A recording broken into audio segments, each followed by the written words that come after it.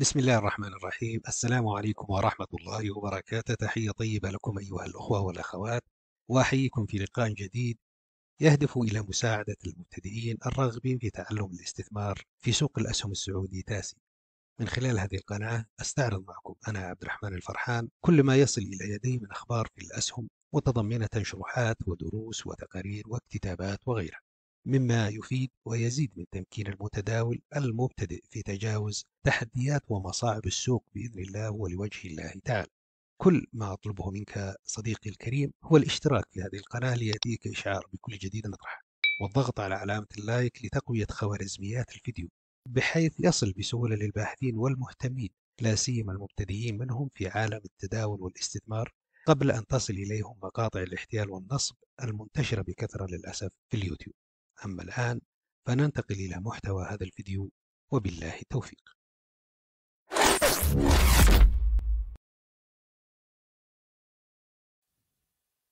إخوتنا الكرام في هذا اللقاء بنتكلم عن اكتتاب شركة مياهنا اللي راح يبدأ الاكتتاب فيها بعد عدة أيام وكالعادة نبدأ من معلومات الاكتتاب. طبعا رأس مال الشركة 160 مليون و930 ألف عدد الأسهم 160 مليون و930 ألف بمعنى أن القيمة الإسمية ريال واحد. عدد الأسهم اللي راح تنعرض للاكتتاب 48 مليون و280 ألف أي بنسبة 30% من المجموع الكلي لعدد الأسهم. الحد الأدنى اللي يمكن للفرد أن يكتتب فيه هو 10 أسهم. تاريخ بدء ونهاية الاكتتاب يوم الثلاثاء 21 مايو وينتهي اليوم الثاني اللي هو يوم الأربعاء 22 مايو. البنوك المستلمة هي البنك السعودي الفرنسي وبنك الرياض. معلومات الشركة اسم الشركة طبعا هي مياهنا تأسست في عام 2008 في الرياض تملكها شركة رؤية العالمية للاستثمار بنسبة 100% هذا قبل الطرح أما بعد الطرح راح تنخفض النسبة إلى 70% أما 30% الباقية راح تروح للجمهور.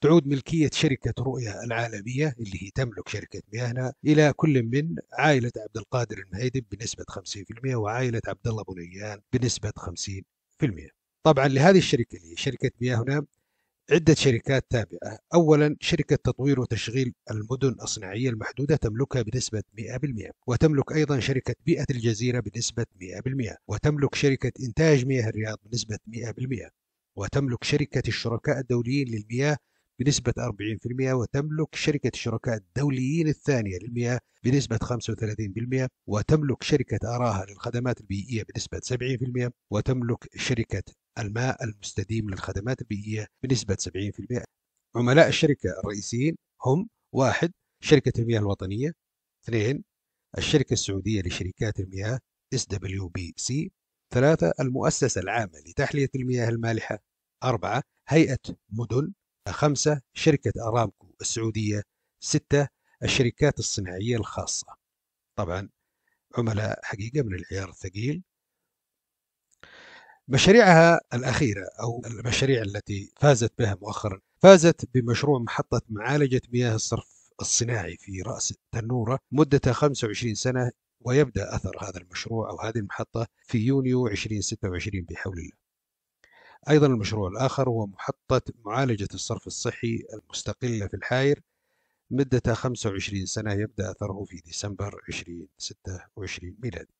أيضا هناك مشاريع أخرى تنوي الشركة تقديم عروض عليها في المستقبل تجدونها إن شاء الله في جدول رقم 11 وجدول 12 وجدول 13 من نشرة الإصدار. يعني حمل نشرة الإصدار وأنتقل إلى هذه الجداول تحصل المشاريع اللي ناوية الشركة أن تدخل فيها في المستقبل.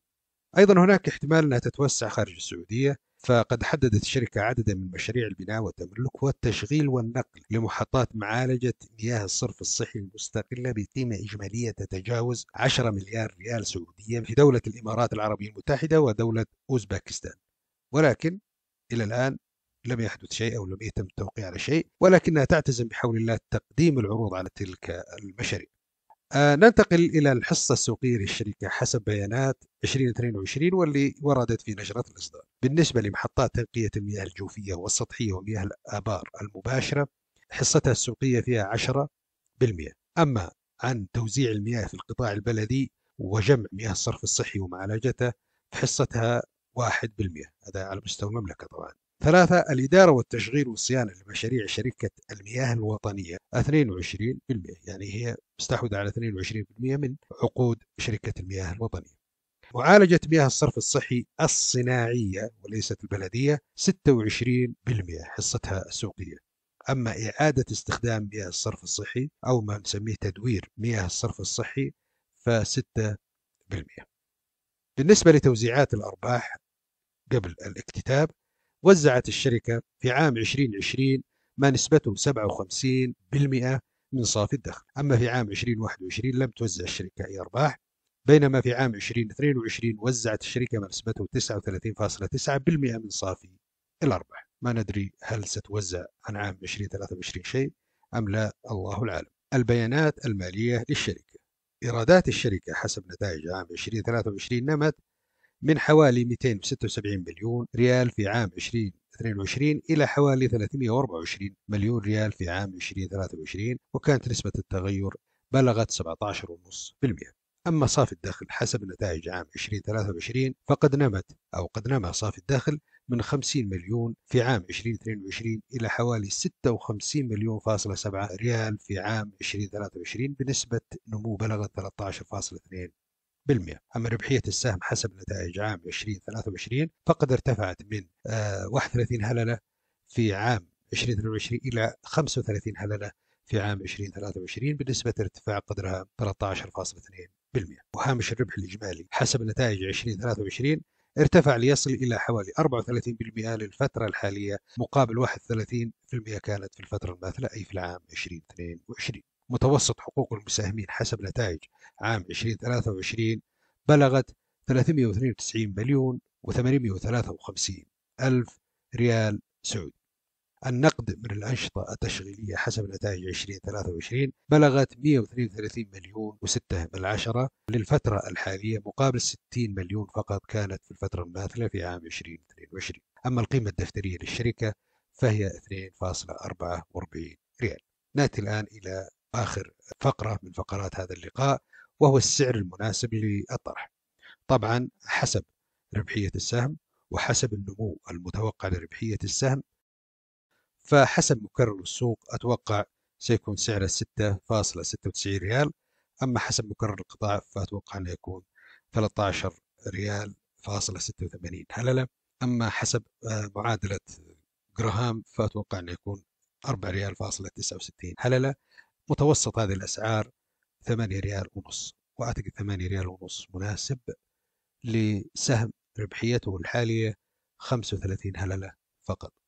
فأتوقع 8 ريال ونص سعر مناسب والله أعلم في الختام أسأل الله لي ولكم التوفيق والسلام عليكم ورحمة الله وبركاته.